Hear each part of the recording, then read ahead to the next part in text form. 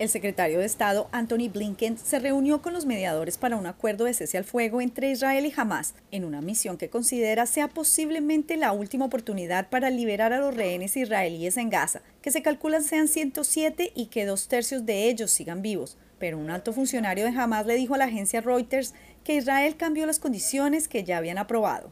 Hay una propuesta que hemos aprobado y logra los objetivos con las que comenzamos las negociaciones, que son un alto al fuego, la retirada de las fuerzas israelíes, brindar alivio y refugio a la población de Gaza, la reconstrucción, el levantamiento del bloqueo y un intercambio justo de prisioneros. Por su parte, el primer ministro israelí Benjamín Netanyahu aseguró que se acercan a la victoria sobre Hamas sin referirse a una propuesta de transición que Blinken dijo que Israel había aceptado para abordar los desacuerdos.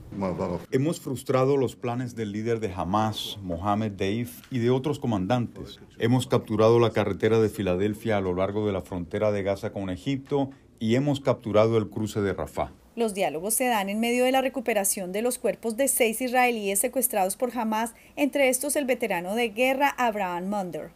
Mi tío fue secuestrado de su casa, de su hogar en el kibbutz por terroristas de Hamas el 7 de octubre. El 8 de octubre fue abandonado por su gobierno y así siguió hasta el día en que murió y la liberación de un palestino que denunció torturas en las cárceles israelíes.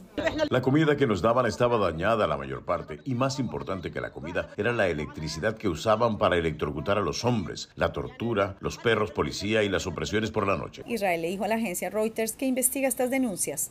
Ángela González, Voz de América.